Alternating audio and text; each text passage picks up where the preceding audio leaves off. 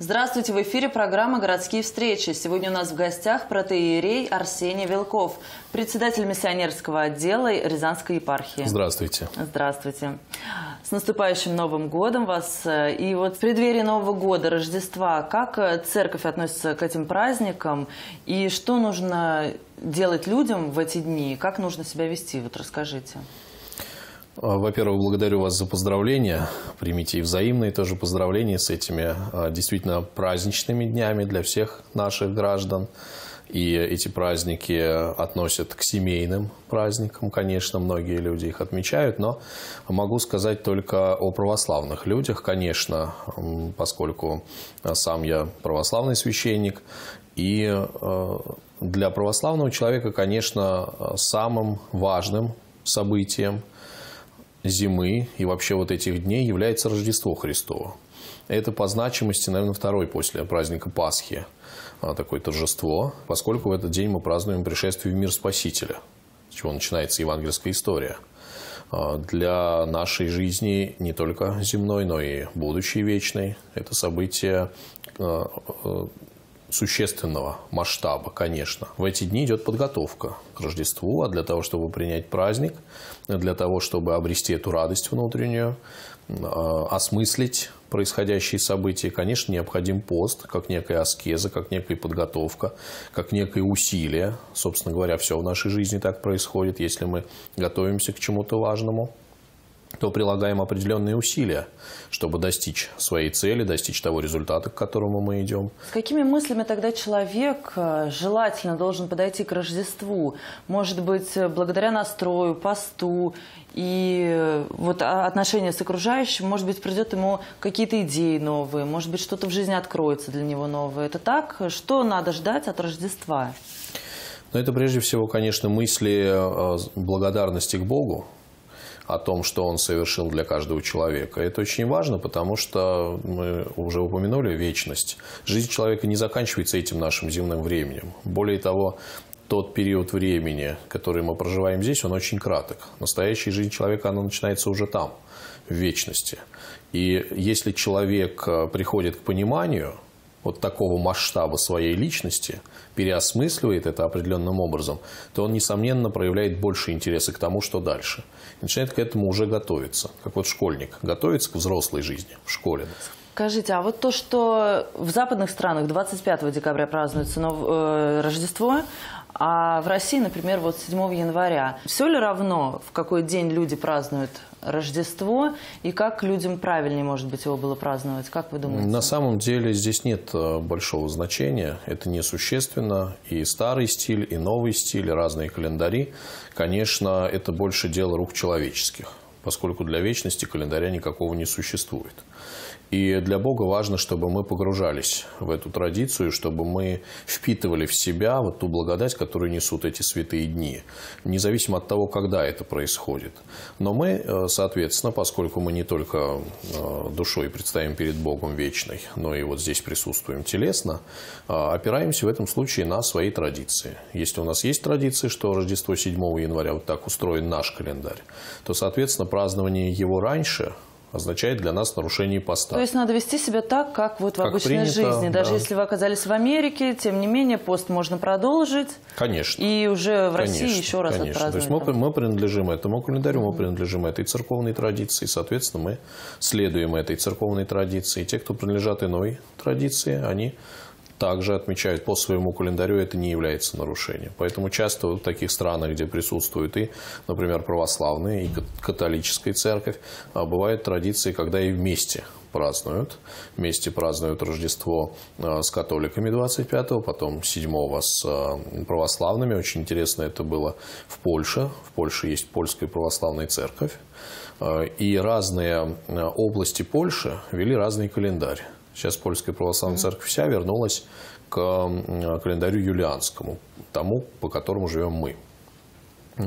А раньше какие-то области Польши принимали западный календарь григорианский, какие-то оставались с Востоком.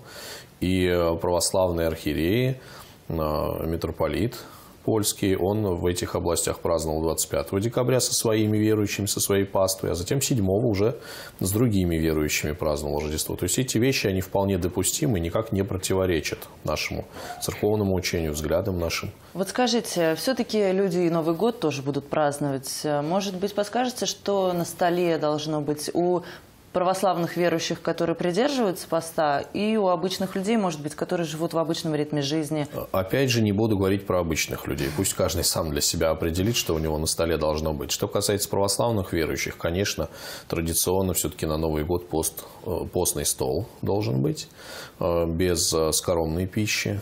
Если мы учитываем такие общие правила поста, то, как правило, со 2 января уже рыбные блюда нельзя.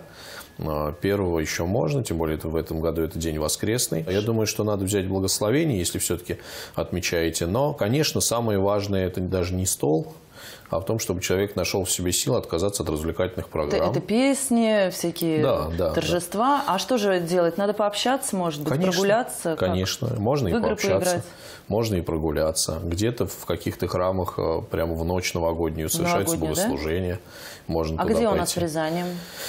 А, мне кажется, в входе в Иерусалимском храме есть традиция совершать ночное богослужение. А, есть еще в некоторых храмах, я думаю, что будет расписание а, вывешиваться на сайте, на сайте епархии, епархии, можно будет э, с ним ознакомиться, я так думаю.